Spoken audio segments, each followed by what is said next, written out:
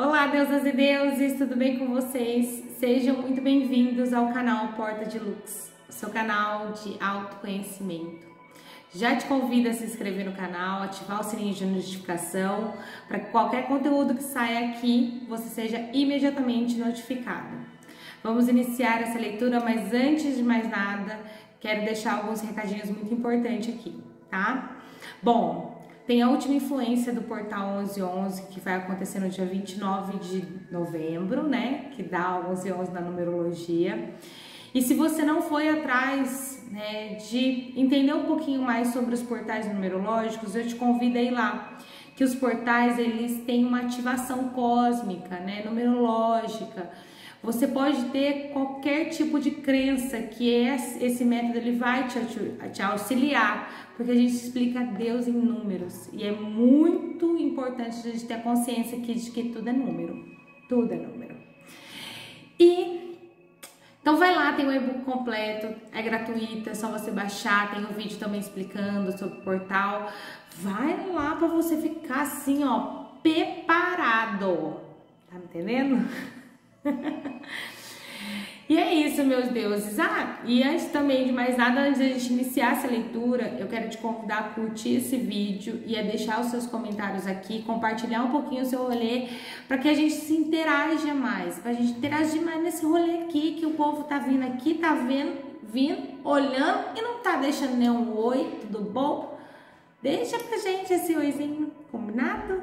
Então vamos embora, vamos para essa leitura.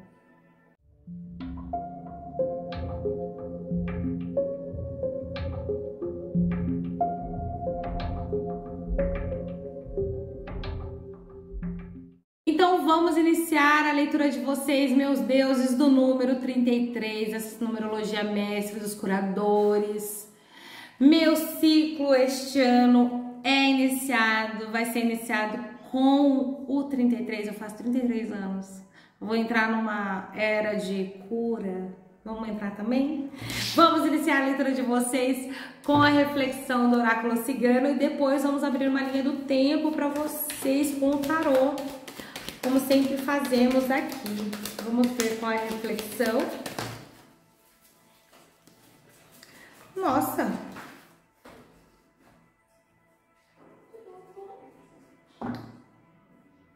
Vieram as alianças e uma reflexão cigana. E eu vou começar sobre com ela, tá? Ó, vem as alianças e essa reflexão. Mantenha o pensamento otimista, faça sua parte com perseverança e confiança em você. Não hesite, não perca tempo com lamentação, insegurança, medos ou culpa. Abra novo caminho. Você tem potencial e está deixando escoar as oportunidades. Está perdido no mundo negativo que criou. E aí as alianças, né? Em toda a sociedade é fundamental ter responsabilidade e lealdade para que haja harmonia e felicidade. Você está pronto para partilhar, ter responsabilidades? Reflita, analise profundamente o que deseja para você. Use a razão, o equilíbrio e a responsabilidade. A felicidade depende de você. Meus deuses, reflexão já veio tanto assim, né, pra parar de perder tempo, vai procurar sua galera. Quantas vezes a gente já falou isso aqui na leitura de vocês, né? Vai procurar a galera que vocês que mereçam vocês, né? Que mereçam a companhia de vocês. Parem de ficar perdendo tempo querendo alguma coisa não fazendo por ela. Como que como que você quer algo se você não faz nada por ele? Isso eu, eu não tô falando de pessoas, eu tô falando de você, das suas conquistas. Porque quando a gente quer alguma coisa, a gente vai atrás daquilo. Porque se você não for, é só uma ilusão, é só uma paranoia na sua mente, entendeu? É só um desejo do seu ego que quer que seja conquistado, sei lá, por um pó de perlim-pim-pim, por uma loucura. Para a gente conquistar aquilo que a gente quer, ó, trabalho de gente grande, mas de formiguinha. Ainda mais quando a gente não tem herança que importa. Que é aquela que vem no sobrenome, sabe? Geração. Que abre portas. A herança que importa. Eu sou Souza.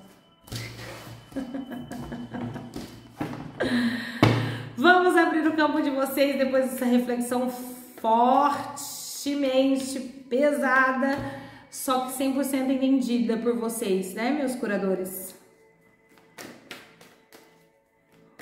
O mundo ele foi cruel com você porque você veio para curar ele. É que merda.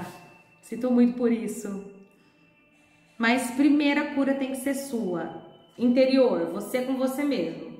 Depois que você se curar, é só num, meia dúzia de palavras você já curou o outro.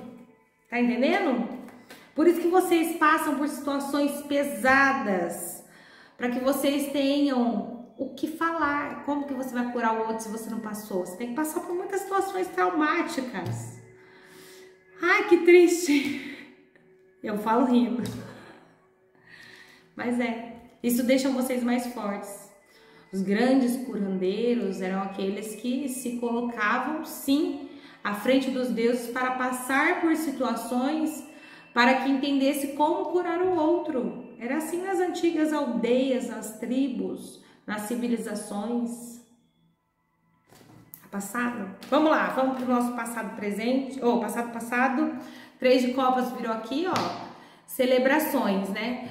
Conquistas. Então conseguiu ali momentos de respiração, né? Conseguiu curtir com a galera que gosta, né? Então teve momentos de celebrar, o que não faz muito sentido com a reflexão, né? Pode ser que esteja aqui no nosso momento passado presente ou no presente presente esse, essa negatividade, né? Mas eu vejo celebrações aqui no passado passado. É como se vocês tivessem passado por situações onde vocês esqueceram até as dores, esqueceram tudo que estava passando, né? Esqueceram as lamentações, esqueceram porque as coisas estavam fluindo, né? Ah, virou mais uma aqui, ó. Seis de copas. Então, estavam aqui, tem. Tá com medo de coisa boa? 33. Ou a impressão minha? Tô maluca, né? Devo estar tá maluca, não é possível. Passado, passado com seis de copas e três de copas, é como se vocês estivessem recebendo, né? Dando e recebendo uma reciprocidade, né? Um negócio que estava ali em equilíbrio, em vocês rodeados de pessoas que estavam, estavam vibrando a mesma coisa que vocês. O que, que mudou aqui nesse rolê? Vamos entender? Parecia que tinha achado a galera. Cavaleiro de Ouros, passado presente, vem vocês ali respirando e querendo uma nova jornada, a busca, né, incansável daquela prosperidade e tudo mais. Vem vocês indo esse encontro, né, no passado presente. Então, tava tudo ali caminhando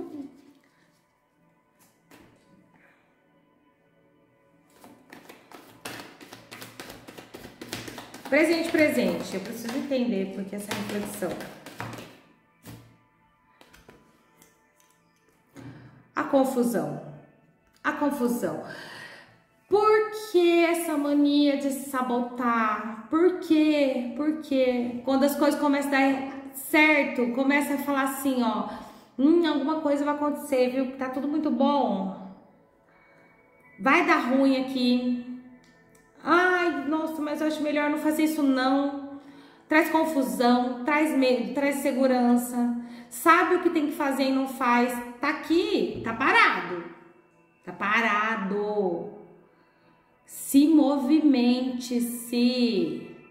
Para você ter o que você quer, você precisa agir. Tá tudo a seu favor, porque se sabotar desse jeito, Confie em você. Confie em você. Para. Não perca as oportunidades que o mundo está dando para você. Você precisa viver isso que você tanto sonha.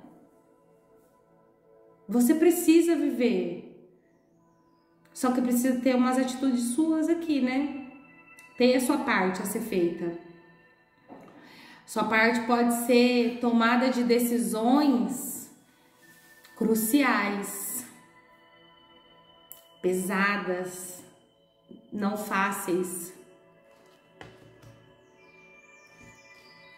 Vamos para a parte que mais importa, vamos para o nosso presente futuro e o nosso futuro futuro. Não esquece, novamente, deixa seu like se você não deixou no começo, vai deixar agora, né, amor? Deixa aqui agora e interage aqui com a gente. Né? Compartilha com a gente seu rolê para que a gente saiba o que a gente está fazendo aqui, combinado? Vamos lá? Para esse presente futuro. Vieram muitas cartas, eu não vou aceitar, tá?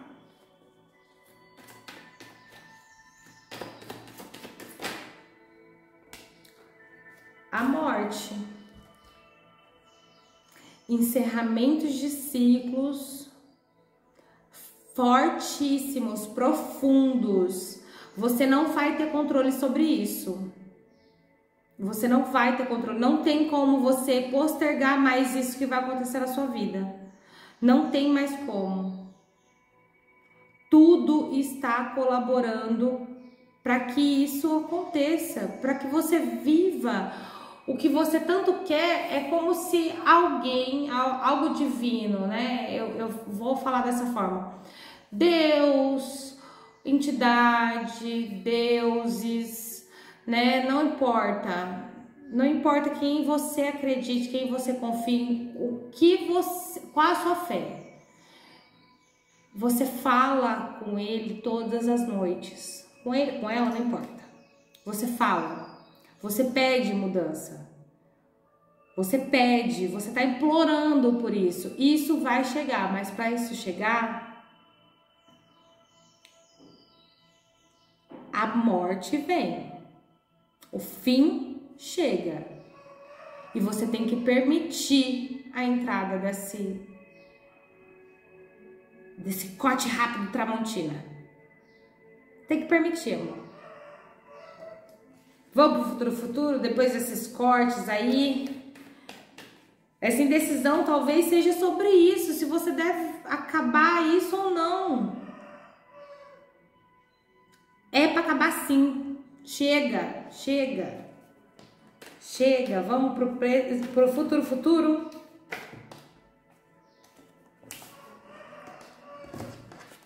Você tem mais a se conhecer. Você tem mais a se explorar. Você tem nas suas mãos o poder da transformação. Olha que lindo, né? Vocês são os curadores, né?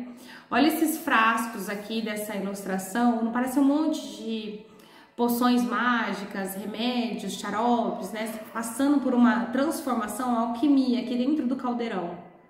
É.